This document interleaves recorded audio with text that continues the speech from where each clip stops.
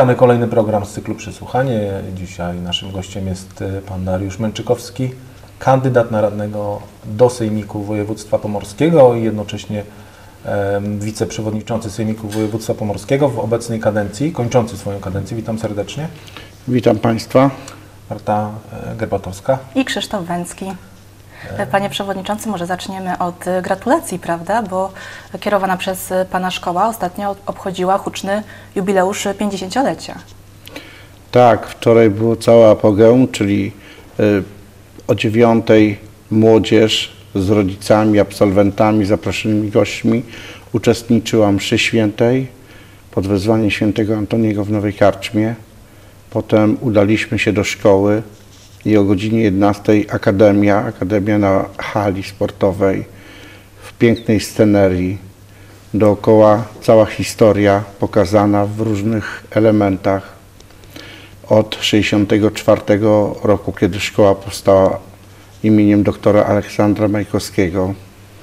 E, Każdy, kto przyszedł, mógł po kościele już pochodzić, zobaczyć, przybliżyć e, właściwie jak to było, jak się to pokoleniowo zmieniało. Mm, I następnie Akademia też pokazała, jak to lata 60., 70., 80., 90.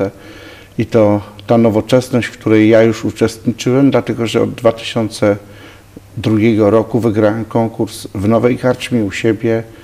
Wiadomo, że wcześniej byłem także dyrektorem w szkole nr 6 w Kościerzynie, e, ale tutaj e, na swoim terenie, gdzie byłem uczniem, gdzie byłem harcerzem, gdzie stałem z sztandarem, jeździłem na Orpę Błyskawica, tam składałem e, przyrzeczenia. I co najważniejsze, że ludzie, którzy zostali zaproszeni, przyszli. Przyszedł e, żyjący dyrektor od 1964 roku, pełnił tą funkcję, pan Adam Czarnowski, potem pan Gienek Bławat. Przyszli moi nauczyciele, moja wychowawczyni, moja pani od nauczania początkowego opiekunka harcerstwa, mój WF-ista, pan Zbyszek Stencel, wiadomo, wicestarosta. Powspominaliśmy trochę humoru, bo e, opowiedziałem historię, że pan Zbyszek, oczywiście przecukrowałem, rzucił nam piłkę, mi chłopcy, ja się źle czuję, muszę iść do ośrodka, bo mi serce coś boli. Potem się okazało, że tam pracowała jego obecna żona. E, No i wszyscy z uśmiechem, każdy się podzielił swoimi wrażeniami. E, Był były wójt, obecny wójt, e, były rady gmin, przewodniczące e, tych rad. E, Naprawdę rady rodziców, wcześniejsze, obecne. e, Duża impreza. Wielka rodzina, wielka rodzina, wielkie święto dla szkoły i w pewnym momencie spoglądam na trybuny, a tam pełno, tam nie było miejsca. Jak zaczynaliśmy akademię, to jeszcze nie było tylu ludzi. Ja jeżdżę po akademiach i widzę, jak ciężko jest właśnie zaprosić.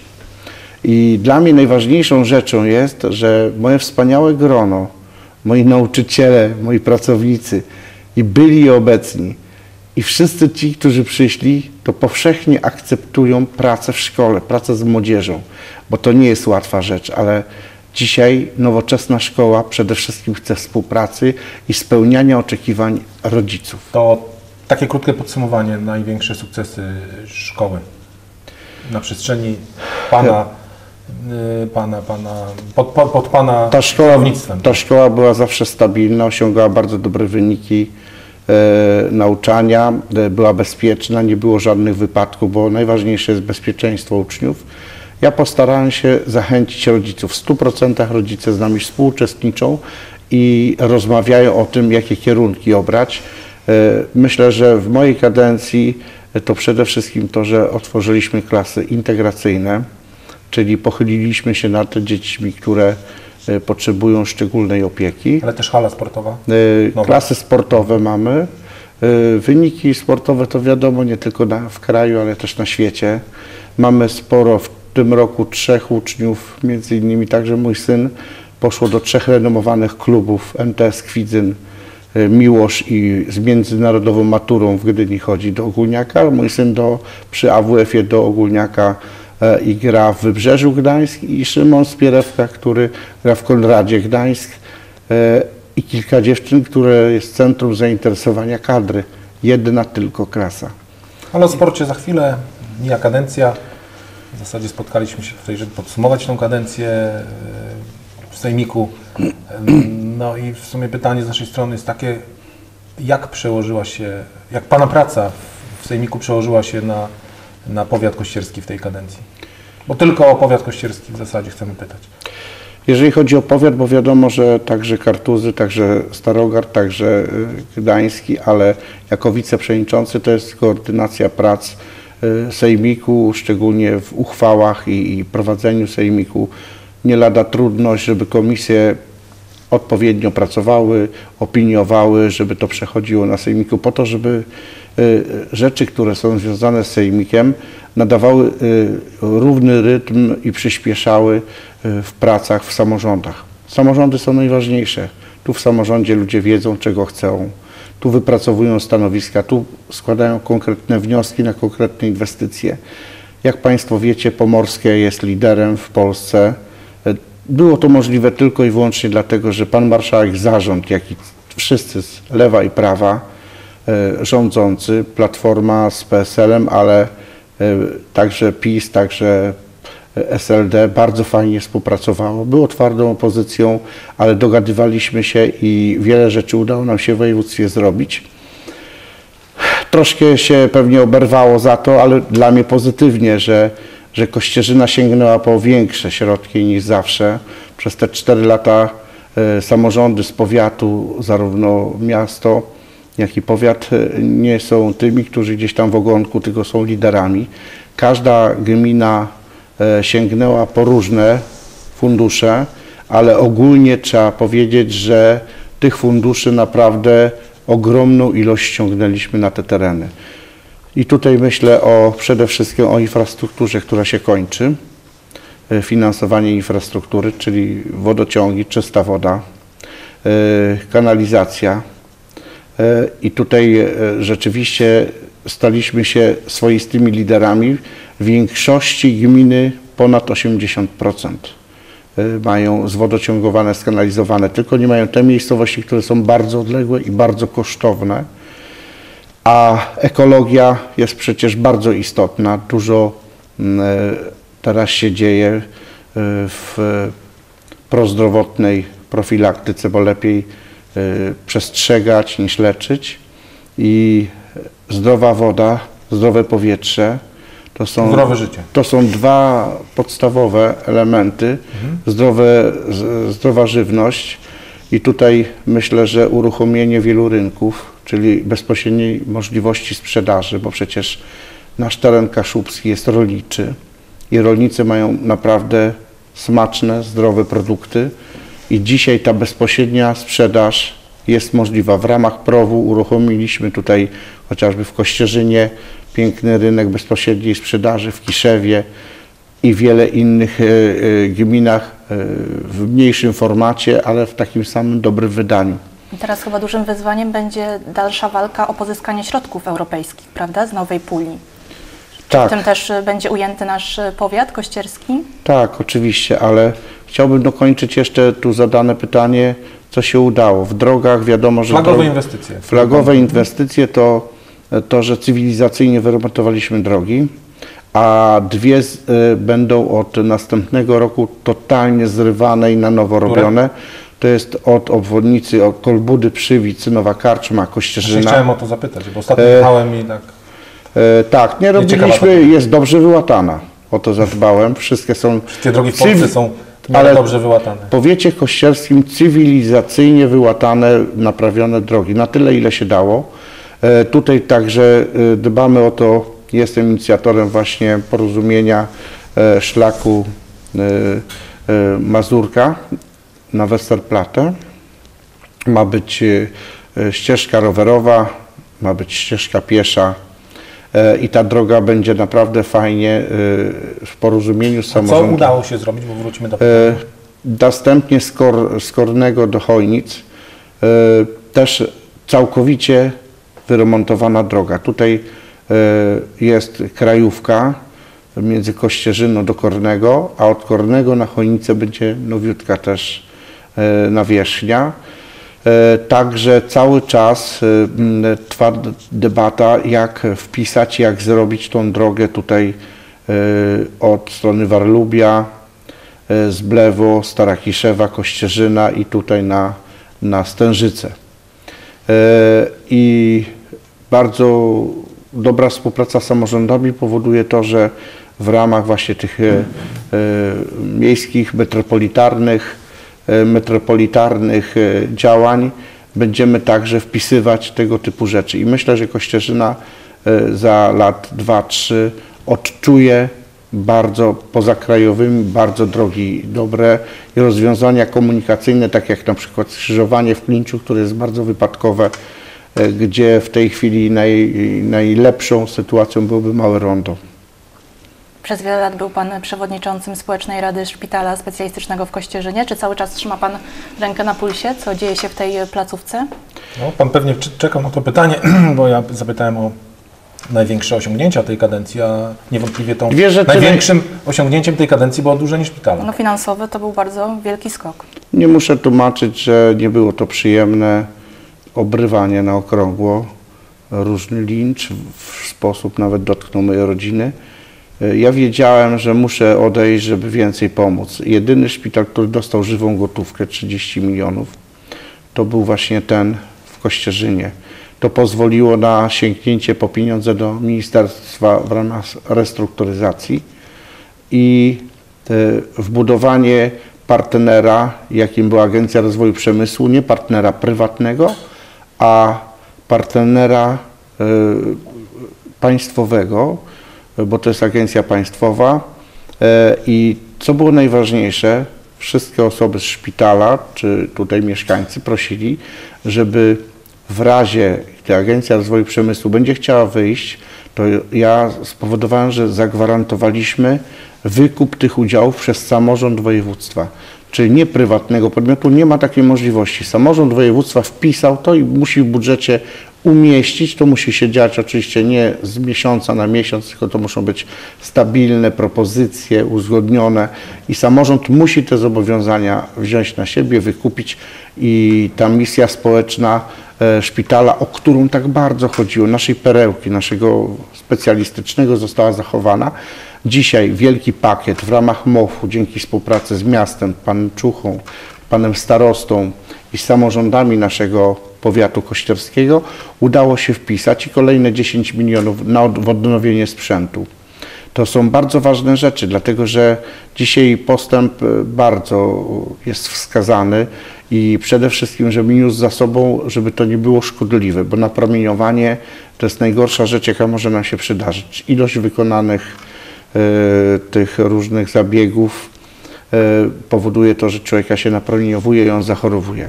Ja czuję się, do szpitala, bo rozmawialiśmy w lipcu z czuję się dyrektorem. dumny, czuję się dumny i powiem tak, zadanie zostało wykonane, chociaż nikt w to nie wierzył. A dlaczego zmieniono dyrektora? Bo rozmawialiśmy w lipcu tutaj też e, w tej lokalizacji z dyrektorem poprzednim. Snuliśmy plany rozwojowe dla szpitala, a za miesiąc Mam okazało się, szczerze, że odpo- jednak... mam szczerze odpowiedzieć. Tak, tylko szczerze. No nie wypadało mi przy panu dyrektorze, przy panu prezesie powiedzieć, że będzie zmieniony, ale to była mądra decyzja pana marszałka. E, Człowiek sprawdzony, człowiek, który zwalniał, który w jakiś sposób nie przez to, że był nieudolny, a się skonfliktował z e, pracownikami, służbami medycznymi, ordynatorami. Ciężko byłoby mu się dogadać. Miałby mechanizmy, oddłużony szpital, płynność finansową, ale tu potrzeba człowieka, który się dogada z tymi ludźmi, którzy wiem, uwierzą, że poprzez solidną pracę oddłużonego szpitala będą nieść tą misję ważną dla mieszkańców, żeby każdy miał swoje miejsce, żeby kolejki rozblokować, żeby specjalistów więcej wprowadzić, żeby onkologiczne sprawy, geriatrii. To wszystko się dzieje i to wszystko fajnie się rozwija, ale tu musiał przyjść ktoś, kto mu uwierzył i kto zadba o pracowników. To, o czym ja powiedziałem. Dzisiaj oni muszą zostać lepiej wynagradzani. Dzisiaj szpital jest w lepszej sytuacji. Nie od razu, że sięgnie No się właśnie, po... czy to się przełoży na... na Musi się przełożyć. To nie ma takiej możliwości przecież za taką cierpliwość, za taką ciężką pracę, jaką oni wykonywali przez cały czas i zawsze o nic się nie upominali. Bardzo dobrze, że są związki zawodowe, które dbają o to i myślę, że też odegrały bardzo dużą rolę i chciałem im podziękować. Ale podziękować wszystkim tym w szpitalu, którzy uwierzyli w to, że warto zostać, warto pracować, No, głosy. warto Pamięta się poświęcać. Dużo rozmawialiśmy, dużo rozmów przeprowadziliśmy właśnie o sytuacji szpitala i na przestrzeni mm, tego czasu i, i z perspektywy dzisiejszej, jakby Pan spojrzał na te obawy pracowników o to, że będzie redukcja, że... A ja zawsze powiedziałem, dzisiaj bez pracy sprawdzałem, jest 15 osób y, i cały czas są rozmowy. Ci ludzie, którzy przeszli do Trójmiasta, to są wzorowymi pracownikami. Ja zawsze wierzyłem, że ten szpital tu ma naprawdę dobrych ludzi. I bez pracy praktycznie nikt nie zastał, nie został. Urząd Pracy, programy pomocowe, tutaj dzięki panu staroście Zakowskiemu i jego działaniom, współpracy z tej samorządowo partnerskiej. E, I cieszę się, że wicedyrektor pan Leszek Zwalakiewicz, czytałem ten wywiad, e, delikatnie wspomniał, że w jego ocenie e, nie byłoby możliwości, gdyby nie te działania. Mnie to cieszy, że tu Jaka, oczy- jaka wizja rozwoju szpitala po...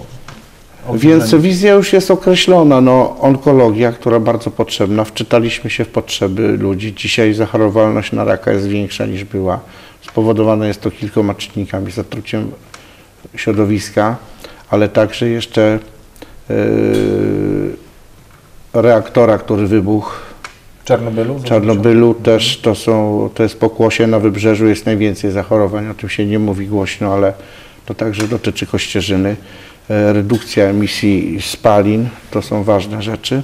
No i za namawianie do tego, żebyśmy e, jednak mimo wszystko wokół siebie każdy jeden drugiego pilnował, żeby te ekologiczne działania były jak największe. Ja jako dyrektor szkoły namawiam do tego nauczycieli, nauczyciele e, No to świadomość dzieci. społeczną trzeba podnieść wśród E, społeczeństwa. Ona już jest bardzo duża, ale jeszcze jest niewystarczalna i ona ciągle będzie niewystarczalna. I uważam ten pakiet, który nie został jeszcze wynegocjowany, ja jestem, mimo to, że to po kieszeni każdego Polaka pójdzie i każdego Europejczyka, ale to będzie rzecz, która warto, warto lepiej zrobić e, i, i zredukować e, emisję tak? dwutlenku tak, węgla e, do powietrza, niż potem niestety żyć w ocieplającym się radykalnie mm, klimacie. No jeszcze wracając do tematu szpitala, mówimy, że szpital został oddłużony, ale niestety po tej pozytywnej informacji o oddłużeniu dotarła do nas informacja o nałożeniu kary przez NFZ na szpital. Jak udało się poradzić z tą sytuacją? Były takie plany, żeby rozłożyć tę karę na raty? Rozmiar moich działań jako wiceprzewodniczącego jest bardzo ogromny i powiem szczerze, dla mnie najważniejsze jest to, że sytuacja szpitala jest bardzo komfortowa. Ja jak odszedłem, różne rzeczy się z przewodniczącego działy. Ja nie mogę za każdy szpital, bo dla mnie serce bije do Kościerzyny, ale muszę się opiekować wieloma dziedzinami w województwie, chociaż bardziej skupiam się na swoim powiecie kościerskim na tym, którym, który, który mieszkańcy mnie wybrali, zaufali, ja duże zaufanie otrzymałem, ale tu mieszkam, tu żyję i tu mi serce bije i tu wszystko robię. Myślę, że swoje zadanie wykonałem. Dzisiaj jest nowy prezes, on się musi z tym zmierzyć. Z Narodowym Funduszem e, szpitale publiczne nasze województwa pomorskiego w końcu mają dobry kontakt. W końcu jesteśmy partnersko traktowani, a nie, że ktoś prywatnie wyrywa jakieś lepsze kąski, przykład kardiologii i wielu innych e, działań. Dzisiaj nie ma to już miejsca. E, Kolejki zostaną zlikwidowane, karta pacjenta, wszystko się dzieje i ja myślę, że będziemy za chwilę tak dobrze jak Francuzi, którzy mają najlepszą służbę zdrowia, jak Duńczycy, a my, Amerykanie, my od Amerykanów możemy powiedzieć, że y, śmiertelność noworodka jest mniejsza u nas, a to jest jeden ze wskaźników mówiących o tym, czy służba zdrowia jest na wyższym czy niższym poziomie. Jest parę jeszcze innych wskaźników, gdzie my się wcale źle nie lokujemy. Ja uważam, że te sztuczne kolejki to taki pęd na profilaktykę, czasami niewskazaną, a zatruwanie poprzez promieniowanie organizmu już mija ta świadomość, o której pan redaktor powiedział, że każdy musi zdać sobie sprawę, że nadmiar to, czy nadmiar demokracji to, to nie jest wcale coś dobrego.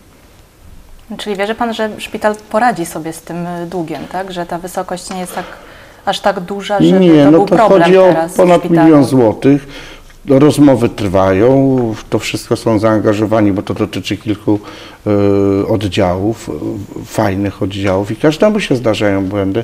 E, to nie było w złej, tylko w dobrej wierze i ja mam nadzieję, że prezes jest tak fajną osobą. Cieszę się, że się tam dogadali, dogadali się z ordynatorami, że lekarze jest, jest po prostu aż miło się chodzi po szpitalu. no. Atmosfera jest y, inna teraz Tak. wśród y, Oczywiście. załogi niż wcześniej. Jest- Pamiętamy za- Załoga napięcie. zaczęła wierzyć. No, jest oddłużona, załoga jeszcze bardziej uwierzy, jak konkretnie odczuje to w, w, na koncie, na koncie. Szacunek do tej załogi jest. Naprawdę, bo z kim bym nie rozmawiał, to mówią, że prezes zaprasza, rozmawia. E, Zwolakiewicz Leszek też jako człowiek tu od nas, mnie to cieszy, że, że jest ktoś we władzach, który tu się wychował, tu wrócił po studiach, tu pracował od początku on najlepiej potrafi o tym opowiedzieć, jak to się wszystko kształtowało i myślę, że to, co czytałem w jego wywiadzie jest e, prawdą. E, Z panem prezesem też rozmawiałem i pan prezes jest pełny nadziei i uważa tutaj, że ten rozrost i likwidacja kolejek i dostęp będzie dużo większy. Wrażliwość zawsze była, poziom leczenia zawsze był. Kiedyś Sztanco- byliśmy liderem. Akredyt, ale mamy, panie, panie Krzysztofie, nadal mamy tylko je- jedyny szpital, który ma tyle akredytacji i certyfikatów. U nas chcą się leczyć. Nasz szpital ma wielki szacun w całym województwie i nie tylko.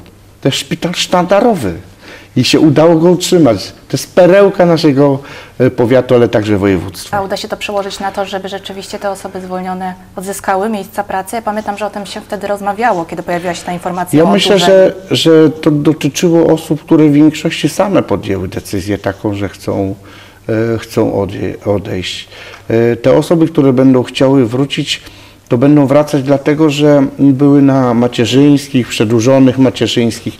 Wiadomo, ja jako nauczyciel zawsze będę namawiał, żeby z dzieckiem kontakt był jak najdłuższy, bo psychologicznie to jest bardzo ważne, a służby medycznej zdają sobie z tego sprawę, że przy dziecku kontakt jak najdłuższy jest, jest lepszy, bo to dziecko się lepiej rozwija, potem osiąga lepsze e, w, dorosłym życiu e, swoje wyniki zdrowotne i, wyniki jako człowiek. E, I ja myślę, że te, tak jak już powiedziałem, że tych kilka osób, które jest zarejestrowane, W najbliższym czasie wspólnie rozmawialiśmy ze starostą, podejmiemy takie działanie i z prezesem, a tym bardziej, że e, rozmowy z funduszem się właściwie finalizują i będą skuteczne właśnie na, na geriatrię, na, na Właśnie jakie nowe, mm, nowe no właśnie pracownie czy przychodnie będą? Będzie e, w ramach profilaktyki endoskopia, czyli Ale gaz, będzie coś, czego, czego nie ma? gastrokolonoskopia. Będzie coś, czego E? Tak, e, rozszerzony e, kontrakt na onkologię. Będzie też ta geriatria. Powstało bardzo, które było bardzo potrzebne hospicjum. Ono działało bardzo dobrze, ale zostało wydzielone. Pan Błaszczyk, znakomity A jak czło- wygląda człowiek, który pomógł też we wszystkim. Szpitala w Dzierżążnie? Czy zostanie Szpital placówką e, podległą cały czas Kościerskiemu Szpitalowi, czy jednak są pomysły, Nikt się nie ogląda na to, żeby na siłę to sprzedać, bo to ma markę. Remonty trwają, rekonstrukcja, renegocjacja kontraktu. Nadal Nie ciąży ta placówka Kościerskiego Nie, nie, nie, absolutnie. Ona nie ciążyła nigdy, to tylko było takie troszeczkę mydlenie oczu. Ja uważam, że dzierżążno jest to naprawdę marka. E, Jest tam wiele rzeczy do zrobienia, ale ja bym tak się szybko tego nie pozbywał. To jest naprawdę perełka.